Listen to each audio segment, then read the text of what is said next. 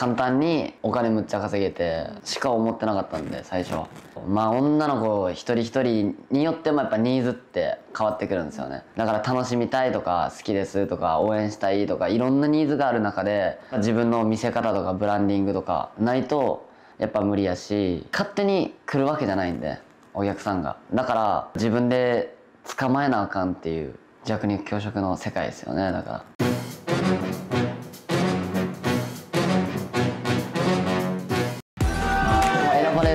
と思ってたんで、まあ、嬉しいっちゃ嬉しいですねでもやっぱ。今回は以前行った M グルチャンネルオーディションで見事準優勝を勝ち取ったクラブアダムつかみキルワに密着。初シャンパンは入店3日後。元某有名大学出身で売れるための必勝法がとんでもなく知的。分析に分析を重ねたまさにブレーンホスト今回はそんなつかみキルワの営業の様子はもちろんブレーンホストならではの思考に迫る。ホストになろうって思ったんはまあ普通にお金なかったしちょっと昔ちょっと家なかったりしたりほんまにやばいなと思って。であと音楽してたんですけど僕。まあその音楽で売れたいと思って最初ホスト始めましたね。実家あったんですけど喧嘩とかしちゃって帰りづらくなったりホストやったら量もあるしじゃあホストやってみようみたいな感じでホストやったっす。大学はもともと同志社大学でした。頭はま人よりいいんかなぐらいですね。いややっぱり生きるっすね。その地頭っていうか考えることができるかできやんかとかあとは自分が持ってるビジョンっていうんですかね。その夢に対してどう改善していったらできるんかっていうのがやっぱ一番大事なんでもう3日目ぐらいからはあ売れるなってなんかなんか自信あったっすね。入店して3日目ぐらいにお客さん呼んで初めて。でそこでシャンパンとかおろしてもらったりもしてなんか見えてきたんですよ。最初の名刺行くラインが。僕入店して3日目からお客さん呼べんかった日ないんで。途切れることなあそうですね。毎日ちゃんと集客して本気っていうか努力ができてないんかなとか、まあ、あと考えることが大事なんでホストって。その考えるとこが欠けてるんかなって思いますね。容姿はえでもやっぱ大事ですね。どこまでいってもホストなんで、まあ、がっつりちゃんとやったのは初めてですね。鼻と目目頭と埋没と微線形線っていうやつとやっぱモチベーションにもつながりますね。見た目良かったら。その分売れやすくなるんで。どうやって売れるんですかって思ってお金余裕がある子はままず清潔してほしです。いい男で女の子満足させたいんでね。完璧なろうって感じですね。そのお客さんできる方法って2つあってその SNS でやるか初回で捕まえるかなんですけど、まあ、僕未経験で入ったんでその初回なんか勝てるわけないじゃないですか。1年もやってもう女の子を口説くプロで。やったらもう SNS 本気で特化しようと思ってもう毎日携帯しか触ってなかったですね。24時間ずっと。自分自身のほんま目指してる結果には全然追いついてないんでまだ全然変わらず頑張ろうって感じですね。一番最重要に置いてるんがやっぱ1000万オーバーですね毎月。貯めてとかじゃなくても毎月そこを阿部で行きたいなってのは思ってます。あどうや。予想通りです。取材を行ったこの日はグループ全5店舗が激突する合同イベントが行われていた。そのためキルアもいつも以上に気合を込めて営業に臨む。えーやっぱね、はい、僕が一番目立って頑張りたいんで一緒に1000万目指しましょう。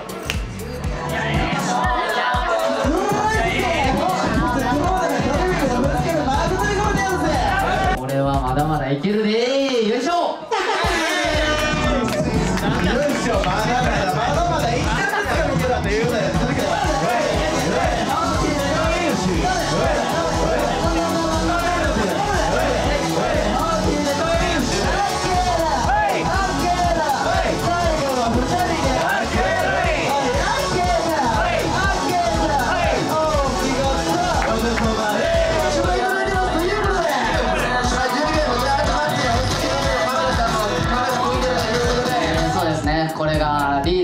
う感じのとこ見せて、えー、中堅ドリームイベントを優勝しましょう。よいしょ。多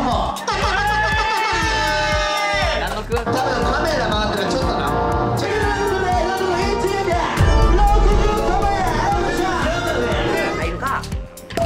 あとあそう。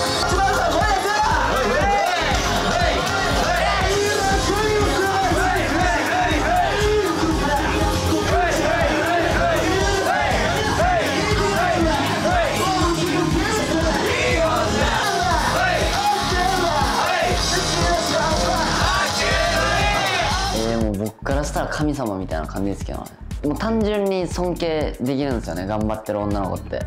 そこの感謝がなくなった瞬間にお客さんと切れていくんかなっていう。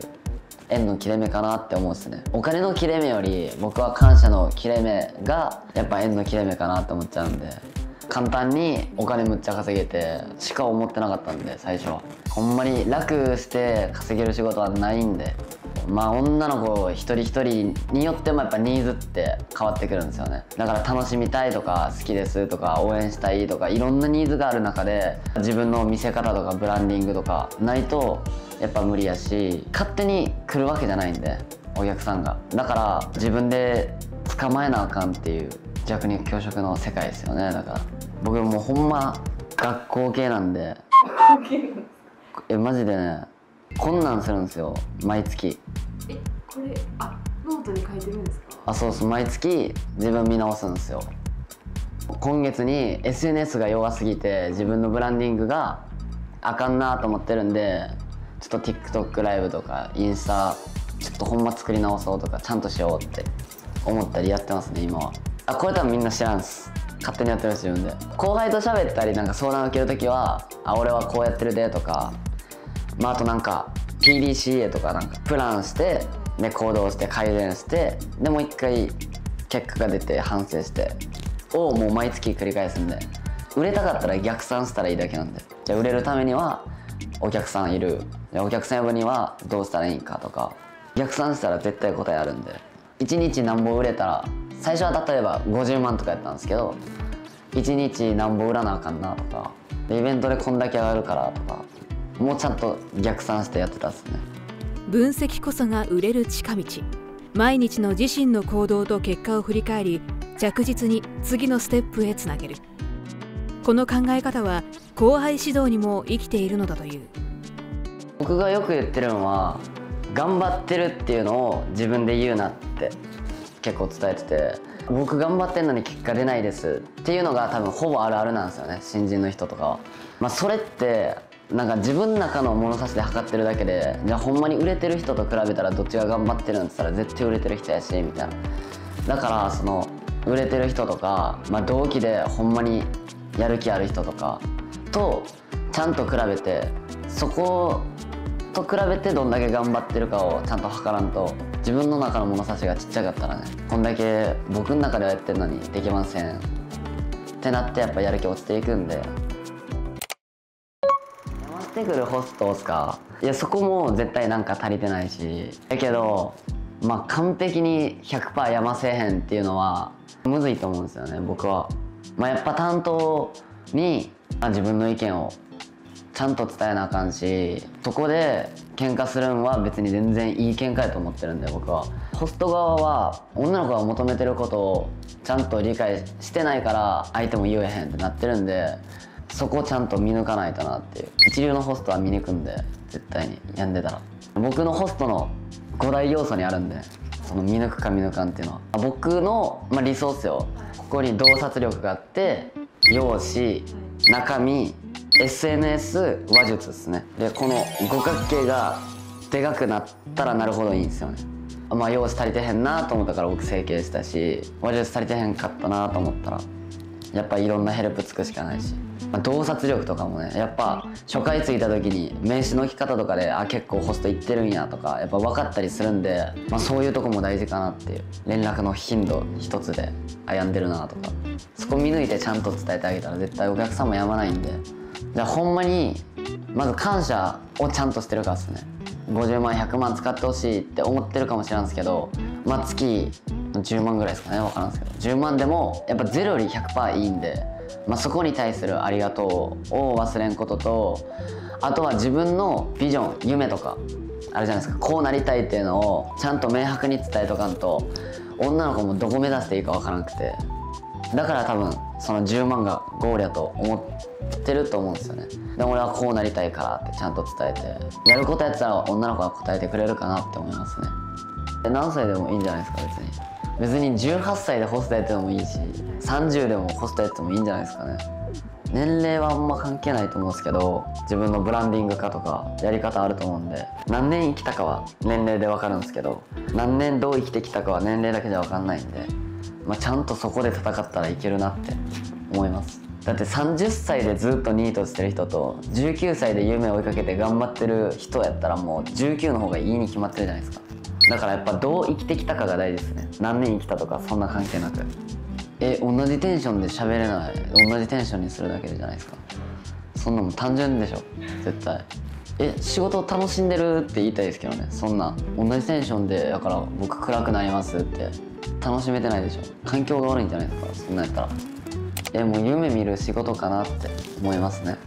やっぱ今の世代時期は好きなことで生きていきたいっていうのが多分最近流行になってると思うんですけどまさにその通りかなって思うんです。夢は見れます。だって青天井なんでもう常こうなりたいっていう夢を見続ける仕事やと思うんで。こうなりたいとかこのためにお金いるとかなるんやったらホストやったらいいし別に悪い仕事じゃないんでね。その偏見とかすごいですけど楽しいし。やりたかったら一回ぜひやってほしいって感じですね。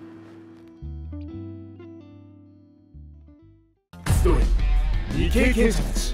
大阪南の一等地に構える160坪の大型店を皮切りに全5店舗を展開する関西最大級の大手ホストグループグループ M テレビラジオ雑誌とメディア露出も多数。未経験スタート9割以上。学生やアルバイトがとにかく売れる。毎週の売上講習に加えカリスマプレイヤー直伝。特別講習も定期開催。16時から22時までの業界唯一無二の営業時間。シフト制だから1日最低3時間。週2日から勤務可能。体験料最大2万円。この充実感を体感せよ。ホストするならグループ M